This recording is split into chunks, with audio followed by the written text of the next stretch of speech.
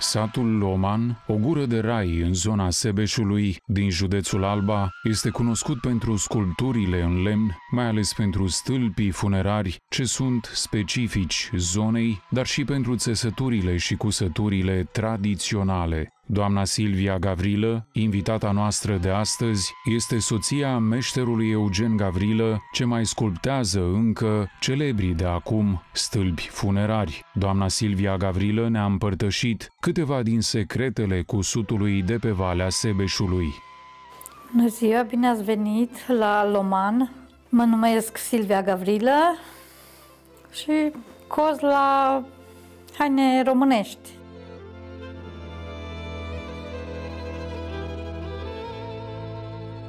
Am învățat să cos de când eram mică. De la șase ani am început să cos cusături mai simple. Prosoape, carpete, goblene. La 15 ani am început să cos la haine românești. Da, am învățat de la mama, bunica, iar în familie să cosea, să țăsea, să lucra lucru manual, să făcea și dantelă și de toate.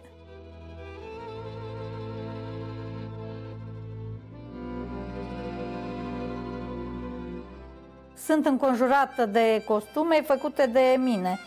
Singura, de când eram mică, e făcută de maică mea, în rest, sunt toate cusute de mine. Pentru copii, acum am doi nepoții gemeni, vreau să le cos. Aici am o cămașă începută pentru ei, vreau să le fac la amândoi. Am o nepoțică, îmi rămâne și ce o fost și vreau să-i mai cos și ei. Îmi place, fac din plăcere, nu prea avem timp, dar când puteți? Îmi place, da. Când am timpul liber, cu așa ceva mă relaxez. Care sunt modelele specifice acestei zone? Aici, pe Valea Sebeșului, în Loman, să face negru și alb, fir auriu, iară să completează. Astea sunt, să face pene, șiruri, diferite modele luate din mostră moși, erau începături care numai un pic cosam pe ele și le puneam ca începătură. Motivele sunt penele cât mai simple, nu prea încărcate. Și flori, trandafirii, la șir să pune o cruciuliță sau o steluță. Penele ce sunt? Florile care încarcă cămașa, ia, așa le spune la noi pene. Nu știu, uite și la sunt florile, sunt aștia mici și care le cos aici, așa sunt pene, așa le spune la noi. În afară de trandafir, ce mai găsim pe costume? Bujorul, o lăcrămioară,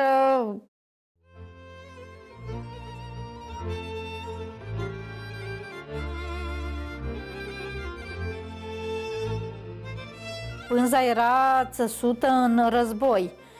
Bunicii și părinții cosau pânza în război. Acum nu mai țese nimeni, ne ducem, ne cumpărăm din magazine pânza și ață ce ne trebuie și facem pe material din magazine. Ce ață folosiți? Macramia sau penea, orice, ca să nu se decoloreze. Am mai cusut și s-o decolorat după ce se spălau și așa trebuie să verificăm foarte bine ața să nu se decoloreze, că spălând-o se decolorează. Fir auriu, numai cu negru și cu fir auriu se coase.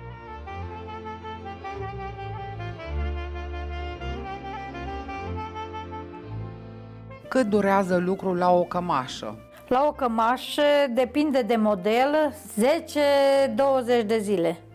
Dacă stăm de el, să o coasem. Dacă mai avem și cu animale și cu astelante, da, dacă lucru 8 ore, în 10 zile o cămașă simplă, am aici care este numai cu un rând de barbori, asta o cos mai repede. Care este cu două rânduri de barbori, e mai încărcată, mai tinerească, durează mai mult. Depinde de model. Dacă modelul e complicat, da, durează, mai durează mai mult. mai mult. În jur la 20 de zile, depinde, dacă stăm de ele, dacă nu, durează iarnă întreagă, că noi numai iarna lucrăm, vara avem cu animalele, cu lucru câmpului.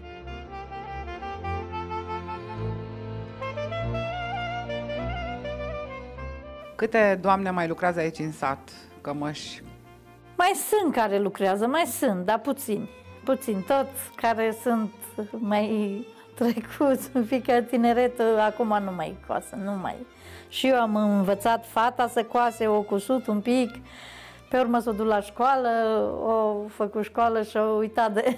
nu, mai, nu mai interesează să coase. Meșteșugurile locale. Da, da, nu mai... Îi place să se îmbrace, are, i-am cusut și ei și așa, dar nu, îi place să se îmbrace, îmbracă copilașii, dar deja nu mai... Să fie făcute de mama. da.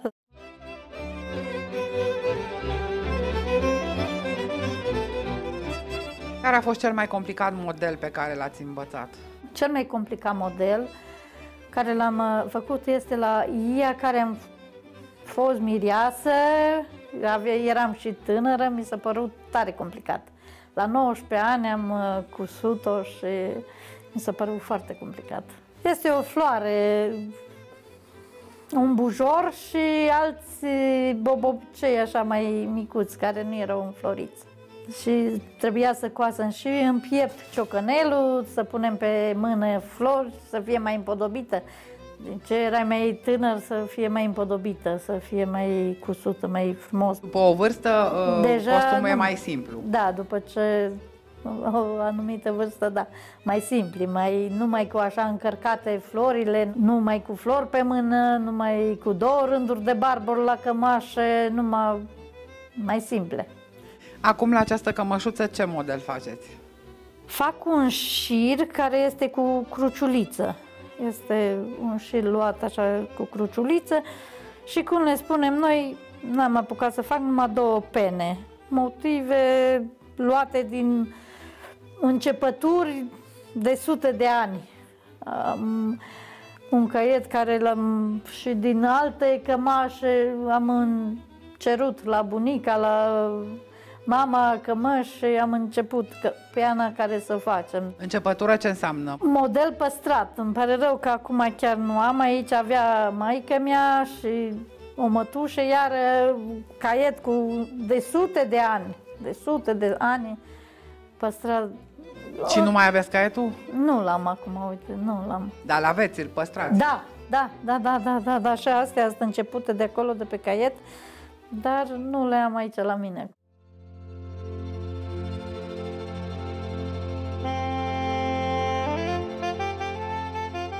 Mi-ați spus că faceți uh, acest uh, costum uh, da, nepoților. popular din zonă, da. dar știu că mai faceți și trăistuțe. Da, acum momentan cos, dar am țăsut la străiți, cum să zice la noi, în care ne punem merindea, mergeam cu merindea la lucru, țăsam covoarele de pe pat, măsăriță, cum să zice, față de masă, să pune, făceam dantelă la măsăriță, puneam prosoape, erau, acum nu se mai pune, dar era tablouri și se punea prosop la tablou sau la farfurii. Deci încet, încet? Încet, încet să pierde. pierde.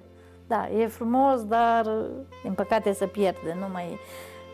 Încă nouă ne place, ne îmbrăcăm, uite, mai este festival aici în sala noi, ne îmbrăcăm când totdeauna la Paști, la Crăciun ne-am îmbrăcat. Ne place să ne îmbrăcăm.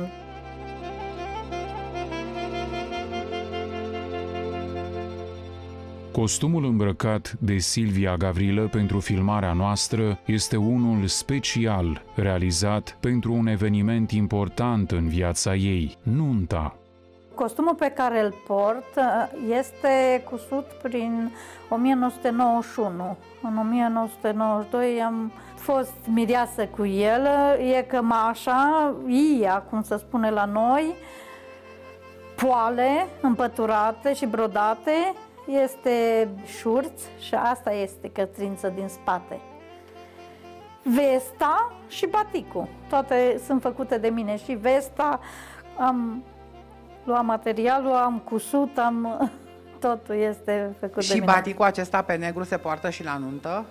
Nu, baticul nu. Baticul nu l-am luat. La nuntă, ăsta se poartă la hainele românești aici în zonă, la nuntă nu.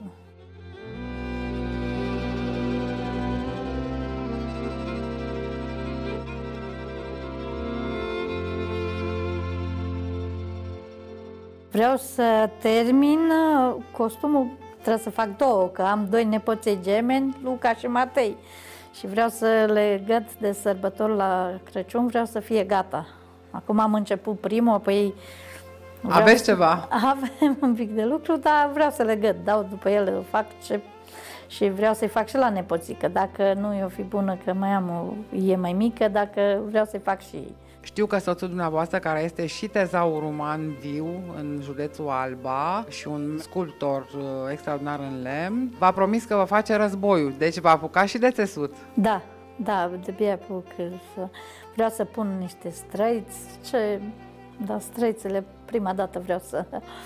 Da, numai să poată să-l termine.